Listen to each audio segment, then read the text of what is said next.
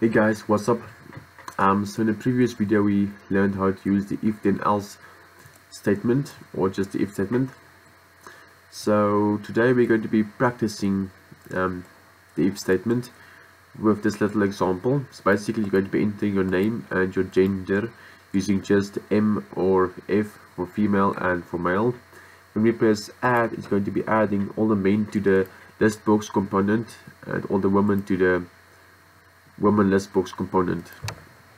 So let's start by adding different name to it. LST M and LSTF.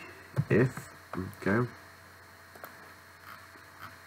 Let's call this one EDT name and EDT gender.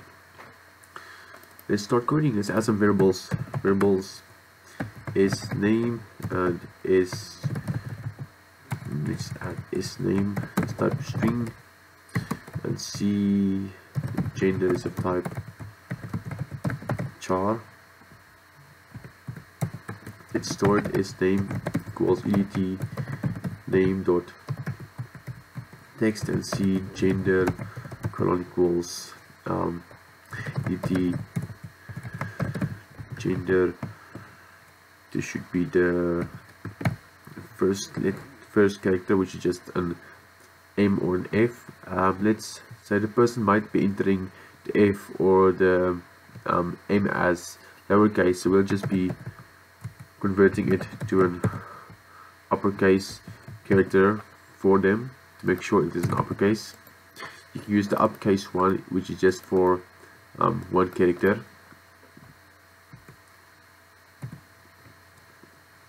Okay, let's start by checking if the user have entered um, these things correctly. So then, um, if c gender equals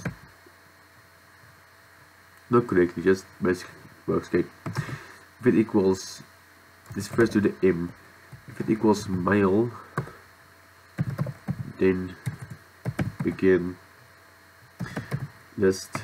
Box. Dot lst uh, main dot. What did I name this thing? Oh m. Okay. M dot. Items dot. Add. They will add the name. Uh, how are we going to it? it's just say name plus comma plus his gender. So that would be plus male because he's let's just add his name. I don't know, don't know why, why, why I want to add other stuff. So basically we're just going to be adding his name to it. And then we can do two of these. For instance we can say if it's female then you should add it to the female ones this will work but we know that it's only going to be um, M or F always.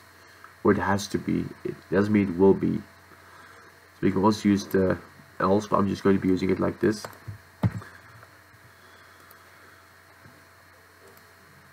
No, it doesn't work. Why does it work? For property. Oops. This must be your text. My mistake again. Sorry.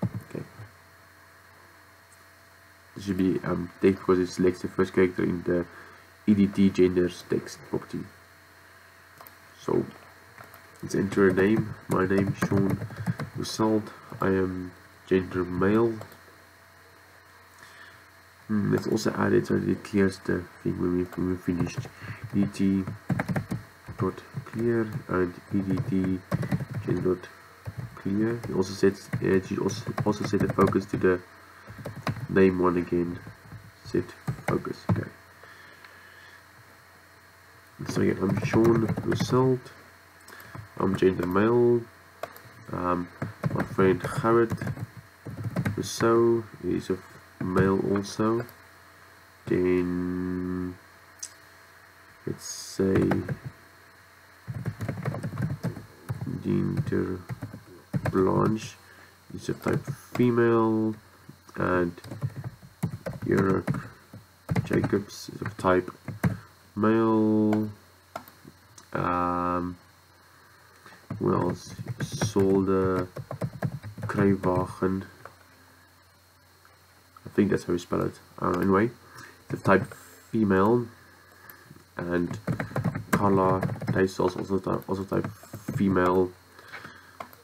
Uh, so that's basically as you guys can see that, that works um, if we add instance something such as um, Chandra Libbe uh, it's of type mm, N for none or A for alien then it won't work because you never um, even errors if you click it like that basically because it doesn't exist that one A it just it just checks for M or F You'll later learn how to display an error message to the person if he, if he doesn't if he haven't entered um, M, M or F so he has to enter it. Okay let's add the code for the retry button. So it will include this as well as some other stuff such as lstm dot clear as well as lstf dot dot clear.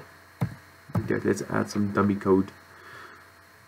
That's the name m m f then we can type on the we try it will clear everything for us. Alright.